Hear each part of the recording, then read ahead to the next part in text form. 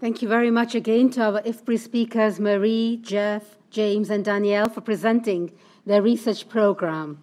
We have two discussants with us then today, and our first one is Aira Htenas. She is agriculture economist with the Food and Agriculture Global Practice at the World Bank Group, and we invite Aira to give her perspectives. Thank you very much. Um, well, thank you. I'm here to present some points of a 2017 uh, report, Food Systems for an Urbanizing World, that was um, led by a cross organizational team in the Agriculture Global Practice and FAO, including uh, James Tefft, who's here with us, um, Marketa Jonasova, Ramziath Adjao, Anjali Morgan, and notably not me.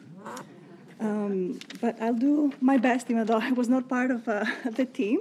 You know, food systems have uh, historically been addressed at national and provincial levels, and they have not figured um, prominently among the priorities addressed by municipalities and metropolitan districts. Uh, this is starting to change. Interest in urban food systems and the increasing engagement of uh, cities in food issues are growing rapidly, due in large part to the admission of the significant role cities play in the urban food production and consumption paradigm. This report complements a growing body of international experience. It, um, it, has identified three overlapping and rapidly evolving segments or channels of the food system a modern channel um, characterized by modernized wholesale and food safety systems, capital intensive food processing, integrated cold chains and food service firms, state of the art logistics, private branding, labeling and packaging, and modern retail and restaurants. An informal channel that caters to the urban poor through the use of informal food vendors and restaurants and a variety of formal and informal safety nets, and a traditional system featuring urban wholesale markets, open retail markets, and small independent family run retail stores. All three um, subsystems are served by the same three different sources um, rural farms, urban and peri urban produce, and trade. Uh, now, for a long time, we have looked at the food systems uh, for producing sufficient quantity of food. Um, we're coming to realize four things uh, that food systems are one of the largest providers for employment um, for people in self and wage employment in both uh, off farm and off farm. That we want food systems to produce um, food efficiently, minimizing negative environmental impacts and conserving scarce natural resources. That we want safe, diverse, and nutritious food with minimal food loss and waste. And we want affordable food that is accessible um, since, in fact, according to FAO's Food Insecurity Experience Scale survey, 50% of urban populations in the least developed countries are food insecure, compared with 43% in rural areas. These are the RANS uh, outcomes in the transform conceptual framework put forward by this report. Four interlinked goalposts for food systems to achieve.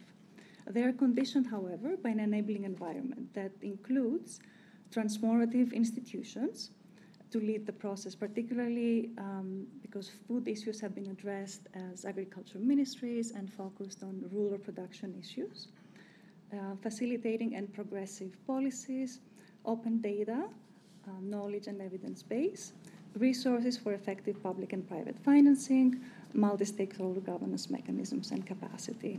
So, this is the T FORM of the Transform um, conceptual framework.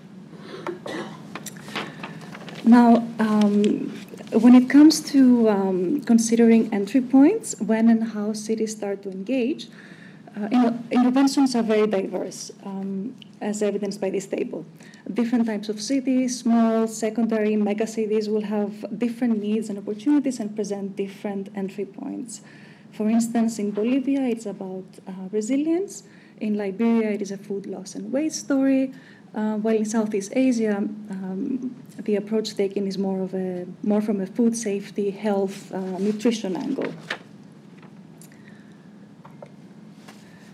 Um, so, at this early stage um, in the development of urban uh, food programs, it will be important to maintain a certain degree of flexibility when responding to uh, potential requests for support and assistance.